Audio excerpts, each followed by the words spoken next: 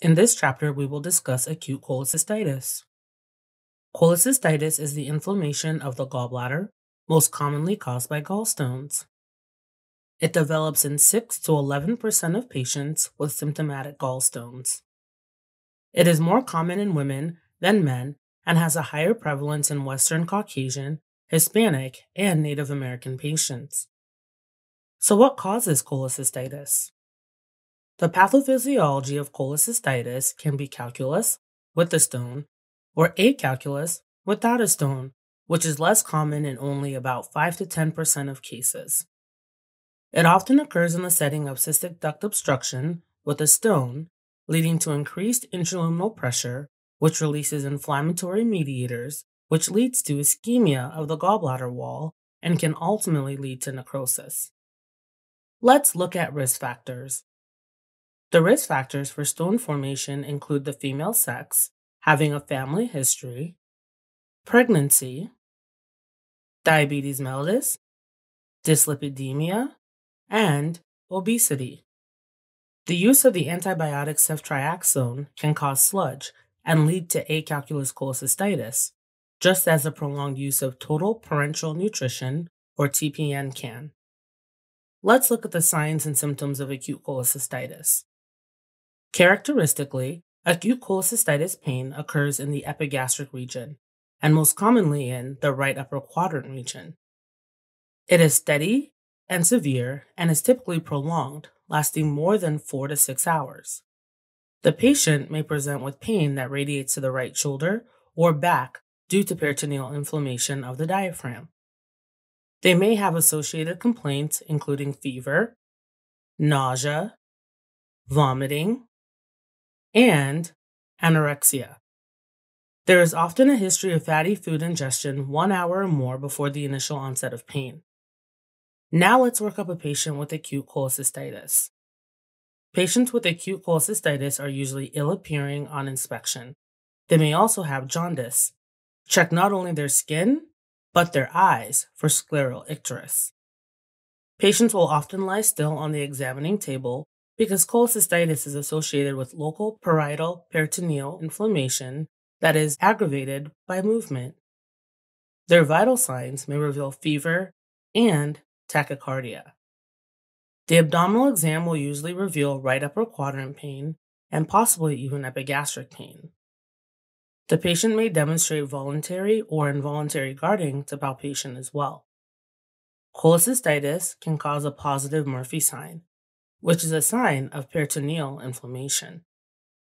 For details on performing a full abdominal exam, please see our MedMastery course, Abdominal Examination Essentials. So, what might you expect to see in the lab results of a patient with cholecystitis? Patients with cholecystitis typically have a leukocytosis and a left shift on their complete blood count. The liver function tests are important in these patients. A liver function test will report not only the total bilirubin, but will specify the portion that is conjugated or direct versus unconjugated or indirect. Patients with cholecystitis may also have elevations in their serum aminotransferases, which are the AST and ALT, in addition to a slight elevation in their serum amylase or alkaline phosphatase levels. So, what about imaging? Ultrasound is a diagnostic modality of choice for suspected cholecystitis. It should be the first imaging modality to use and often the only one needed to make the diagnosis. Ultrasound is both sensitive and specific for evaluating gallbladder disease. It is also minimally invasive without the radiation risk.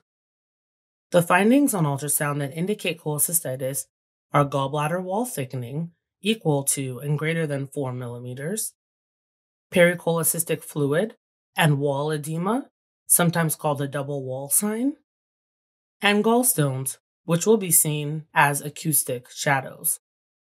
Here is an example of a patient's gallbladder ultrasound in the transverse plane. You can see acoustic shadows representing gallstones.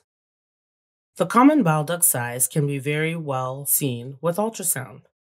A diameter greater than 8 millimeters or 0.8 centimeters can be concerning for obstruction of the common bile duct and usually warrants further investigation of the common bile duct, for example, with magnetic resonance cholangiopancreatography or MRCP. The common bile duct generally increases in size by 1 millimeter for every decade of life. So, someone who is 80 years old or greater may have a larger common bile duct that is not pathologic. A couple other things that can enlarge the common bile duct are previous cholecystectomy, as well as recent instrumentation, such as that done with an endoscopic retrograde cholangiopancreatography, or ERCP. For details on performing ultrasound of the gallbladder and bile duct, please check out MedMastery's Point of Care Ultrasound Essentials course. Let's discuss the treatment for acute cholecystitis. Medical treatment options are usually temporary and will not treat the underlying disease because the gallbladder is the source of stones and must be treated by removal. It is only a matter of time before surgery is needed. A laparoscopic cholecystectomy is a gold standard for treatment for acute cholecystitis and is a preferred form of cholecystectomy. It can also be robotically done, which is also a well accepted, minimally invasive approach. Laparoscopic cholecystectomy has the benefits of faster recovery and return to work, smaller wounds and scars, and lower risk of complications. If a patient is too ill to undergo surgery but has acute cholecystitis that needs to be immediately treated, a percutaneous cholecystostomy tube, which is often placed by interventional radiology and can be used to have controlled drainage of the gallbladder in the acute setting, is placed. Ultimately, it can be removed and cholecystectomy performed once the surgical contraindications are mitigated, waiting usually six to eight weeks or longer to proceed. So I hope you liked this video. Absolutely make sure to check out the course this video was taken from and to register for a free trial account which will give you access to selected chapters of the course. If you want to learn how MedMastery can help you become a great clinician, make sure to watch the About MedMastery video. So thanks for watching and I hope to see you again soon.